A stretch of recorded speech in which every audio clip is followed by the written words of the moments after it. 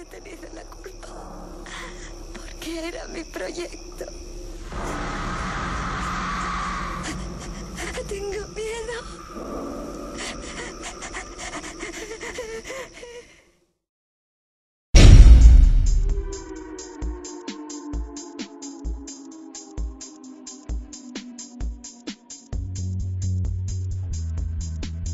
Bueno, saludos a los que estáis viendo el vídeo.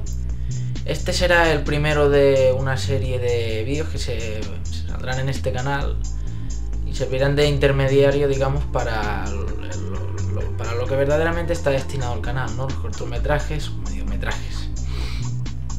Y bueno, pues como el hobby nuestro es el cine, pues aquí lo mismo. Crítica de películas, series, puede quedar algún videojuego, pero bueno, en, en principio cine. ¿Por qué el proyecto de la bruja de Blair? Por nada en absoluto. Teníamos que empezar, bueno, tenía que empezar por una, pues el proyecto de la bruja de Blair. Ni es mi película favorita, ni es una de las peores películas, vamos, de las que más odio, no. Había que empezar por una, decidí empezar por esta. Bueno, el por qué estos vídeos realmente es, sí, para hacer relleno en el canal, ¿no? Entre el- trabajos grandes. Pero bueno, para que sirva por si alguien quiere orientarse o ir abriendo boca antes de ver una película, saber si le va a gustar o no, o si necesita hacer algún repaso a alguna que haya visto. En géneros en particular, ninguno. Todo tipo de géneros. Sí que es verdad que habrá más de algún género que de otro, pero no, no voy a ir solo a por género terror o género humor, cualquier tipo de género. Bueno, empezamos con la crítica. El proyecto de la bruja de Blair es una película que sale en 1996 y la peculiaridad que tiene es que sirvió para crear un subgénero de terror nuevo. Marcó mucho al cine de terror. Y este subgénero digamos que es el género de... bueno, se dice de, de cámara en mano, ¿no? Que luego veríamos en otras películas que fueron auténticas maravillas o que fueron una basura. Tampoco es que esta sea la líder de todas y la que más llame la atención porque sea la mejor, para nada. He visto películas del mismo género que me han gustado muchísimo más que el proyecto de la bruja de. Pero bueno, no solo eso, sino que también tiene un terror puramente psicológico. No vemos en ningún momento monstruos, no vemos en ningún momento demonios, cosas amorfas, hijas de puta, eh, bichos, alienígenas, nada. Ojos que brillan, sombras, nada de nada. Todo es puramente psicológico. Todo nos lo tenemos que imaginar nosotros, todo lo tenemos que suponer. De hecho, si miráramos en el apartado de efectos especiales, lo único que podría encontrar realmente eh, son de sonido. O sea, yo creo que, que- que se gastaron cero en, en hacer efectos especiales visuales, vamos. Dudo que echaran mucha mano de ello. Y sí que es verdad también que ahora que voy a esto del dinero, pues que se destinó mucho dinero esta película a hacer marketing. Si no hubiera sido por la campaña de marketing, esta película hubiera pasado, la verdad, que bastante desapercibida. Y también es verdad que si no te tragas previamente la campaña de marketing que se sacó por internet y por televisión, porque también estuvo, incluso hasta en las noticias se le hacía referencia a esta película, pues pierde un poco la, la... Bueno, no vamos a decirle magia, pero la gracia, ¿no? Supongo que si, si vas esperándote un poco las cosas, luego a lo mejor te sorprende más el producto final, pero bueno, que en general también está bien si la ves sin tragarte la campaña de marketing. Yo lo hice así y coincido totalmente con la gente que, que se trola, que, que vio el marketing primero.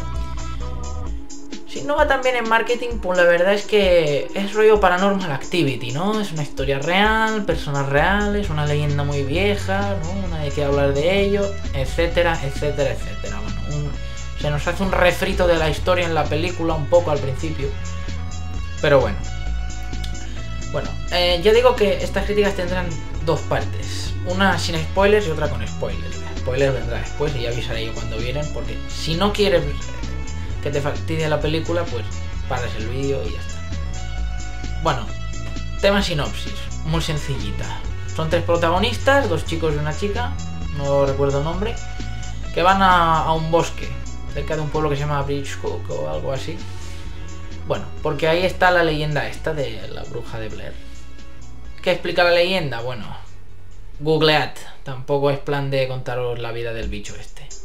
Total, que van a grabar eh, con un par de cámaras ahí, a pasar también los días en el bosque, sobre esta leyenda, ¿no? Van documentados, pero también hacen preguntas a la gente, alguna entrevistilla. Poquísimos secundarios, la verdad es que el reparto es, son tres personas, porque aparecen cuatro extras, ni, secundarios, extras, y ya está. Y bueno, pues van a hacer esto. Lo que no recuerdo muy bien es si era para una especie de trabajo o tesis. No, por ocio me parece que no era. Pero bueno, ahora mismo digo que era porque tenían una página web de paranormal. No me acuerdo. Bueno. Total, que van al bosque con sus cámaras. Todo lo que vemos es siempre desde la cámara. Lo único que vemos fuera de la cámara, digamos, sería al principio cuando se... Te... Estas grabaciones son reales, está y van a este bosque pues para grabar y buscar sitios clave donde se supone que ocurrieron cosas y hay evidencias y grabar ahí.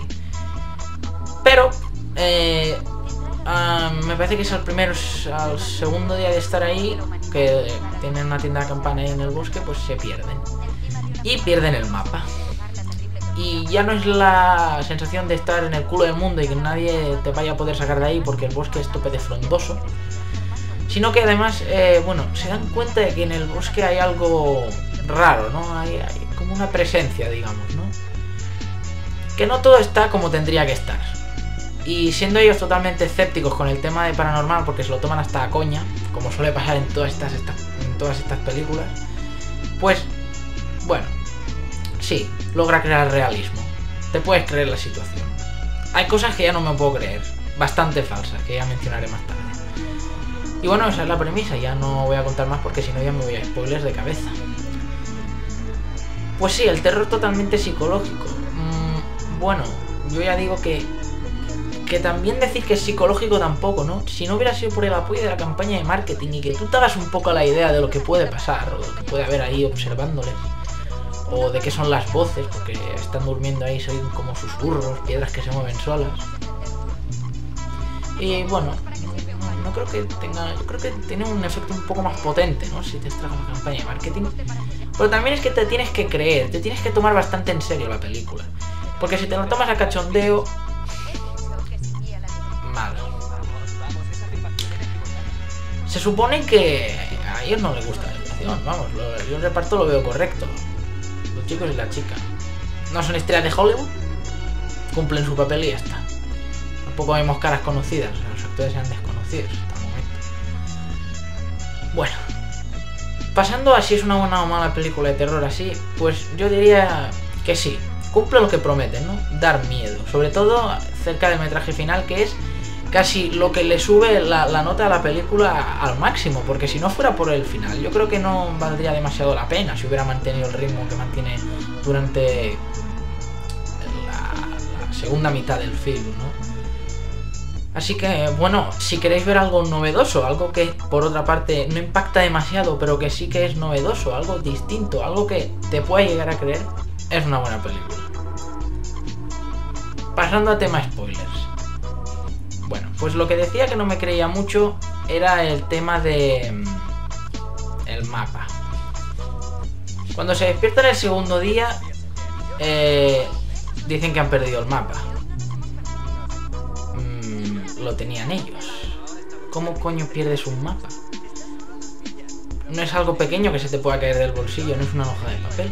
Luego más tarde se explica, no sé si era la chica, no, era uno de los chicos que dice que lo, tira él porque dice que les estaba creando conflictos entre ellos. a mí me parece muy bien que te puedan molestar que tus compañeros se enfaden por la mierda del mapa, pero no creo que vayas a ser tan gilipollas, y claramente gilipollas, como para tirar el mapa y quedarte perdido en un puto bosque y que nadie vaya a poder sacarte de allí, porque es que no hay guarda forestal y no hay nada.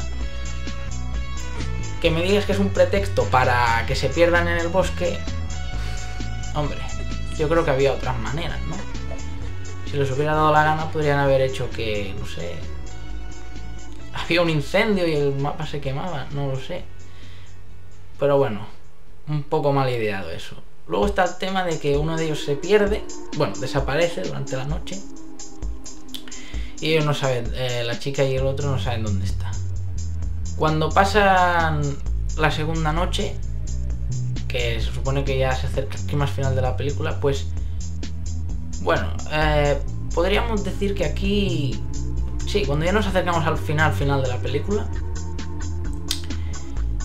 encuentran un- una casa abandonada, bueno, en ruinas, totalmente en ruinas, ahí en medio del bosque, y oyen ahí a su amigo que les llama, eh, por aquí, socorro". Bueno, y van para la casa.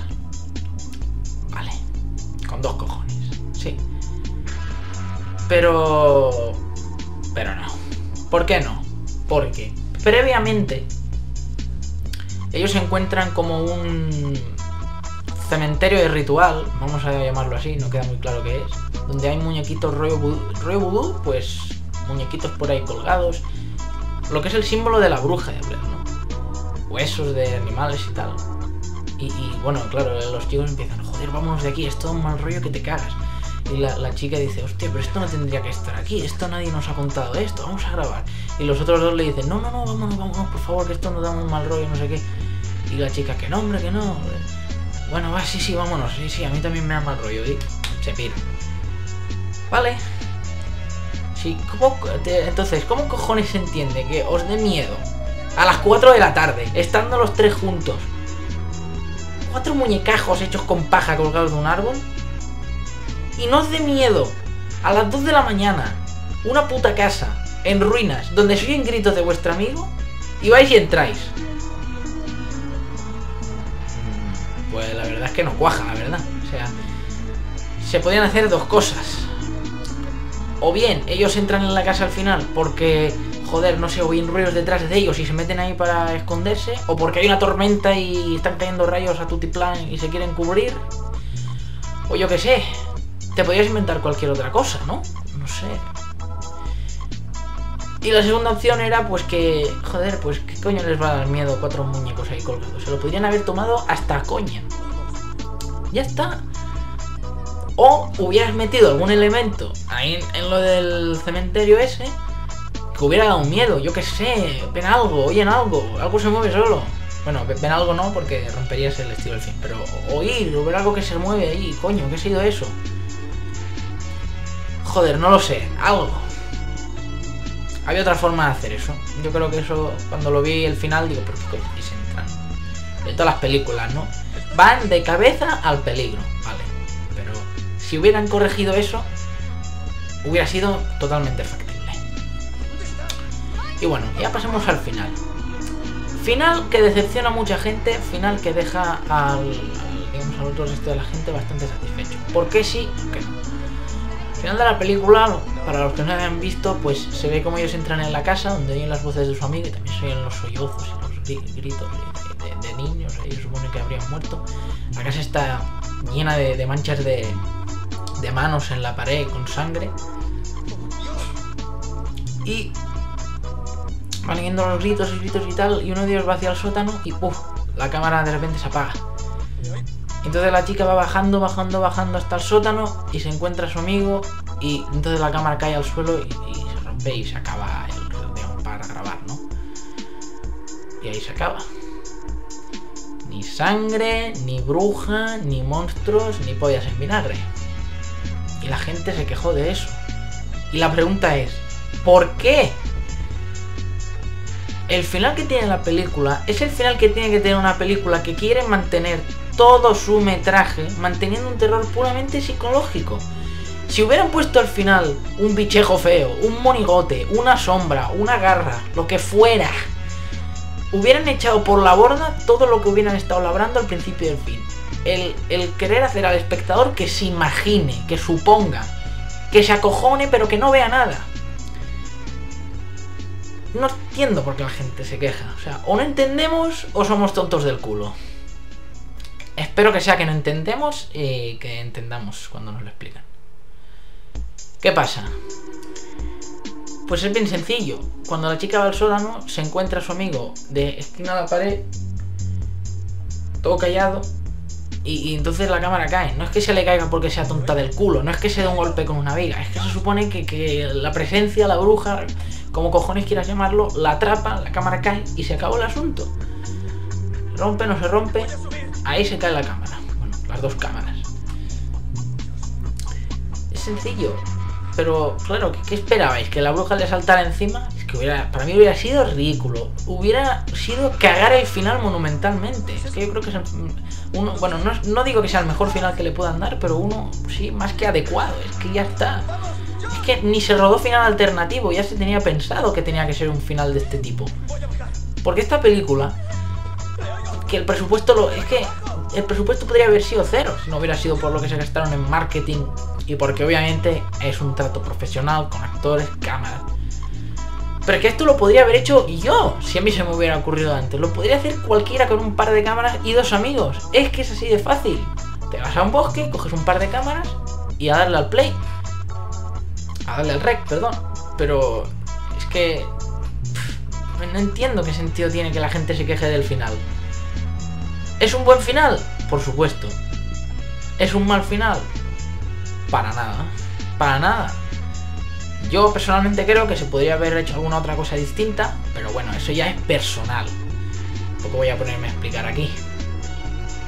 Y la pregunta también que hace la gente, ¿por qué el chico está de espaldas a la chica está mirando a la esquina de la pared?